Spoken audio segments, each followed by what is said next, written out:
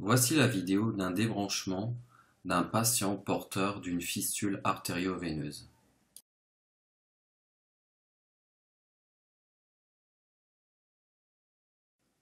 Après avoir appliqué la solution hydroalcoolique, j'enfile une paire de gants.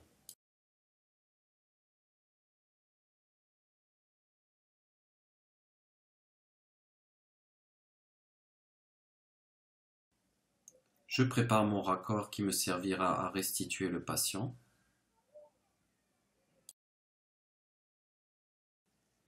Je vais dans le menu Restitution et j'appuie sur Marche. La pompe s'arrête. Je ferme les clans au niveau de la ligne rouge.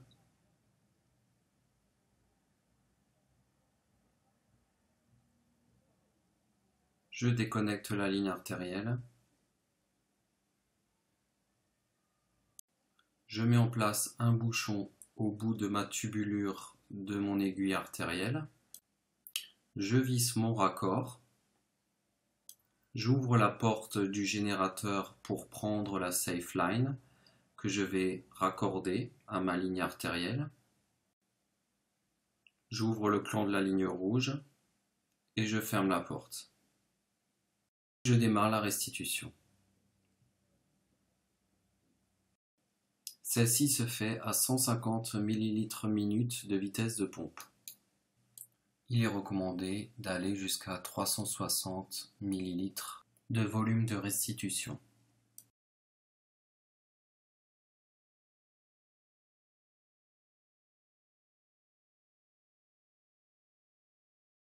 On voit bien la ligne artérielle qui s'éclaircit.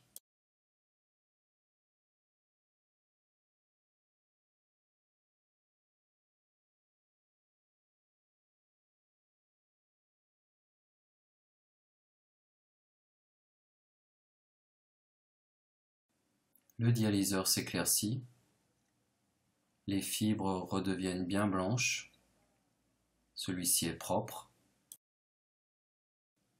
Une fois le liquide de substitution arrivé au capteur colorimétrique,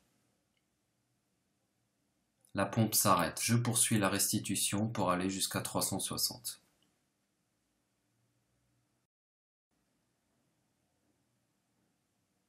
Le volume est atteint. La pompe s'arrête. Je ferme mes clans veineux. Je déconnecte ma ligne veineuse. Je mets en place un bouchon sur la fistuline et je visse ma ligne veineuse à mon circuit extracorporel. J'active le retrait automatique des lignes.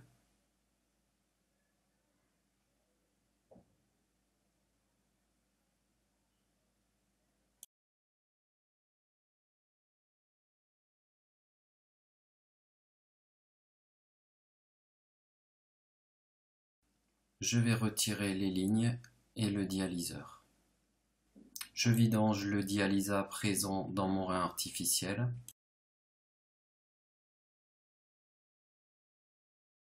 Je remets en place mon raccord rouge, je ferme la porte interlock et je mets les bouchons. J'ouvre les portes, je démonte mon circuit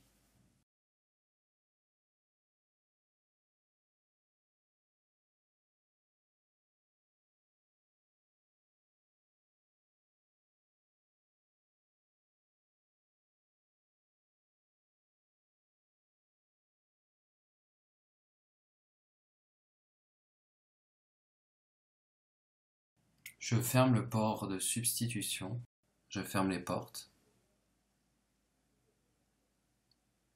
J'enlève mon bibag.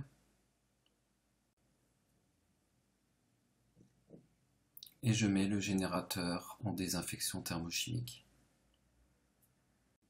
J'évacue les déchets souillés dans ma poubelle jaune que je jetterai ensuite dans le dasserie. J'évacue le bibag. Je retire mes gants.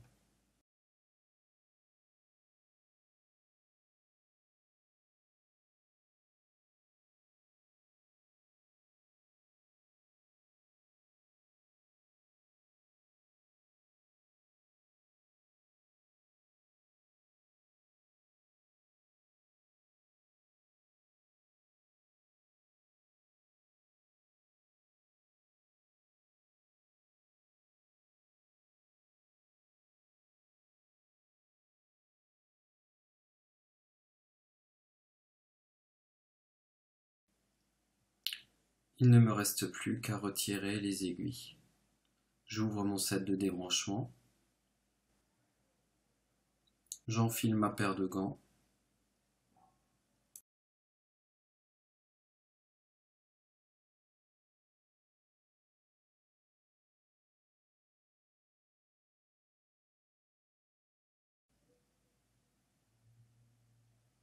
J'enlève les sparadraps.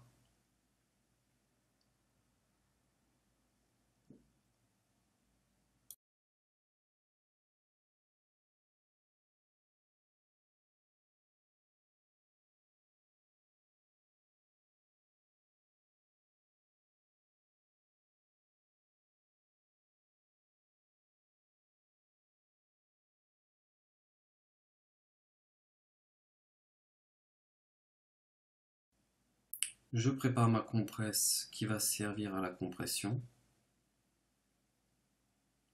Je retire le dernier collant.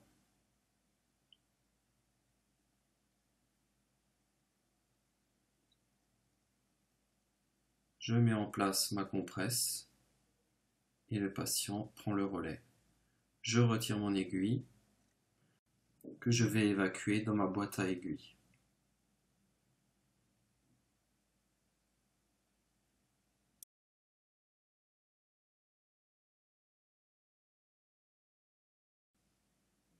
Je fais de même pour la deuxième aiguille.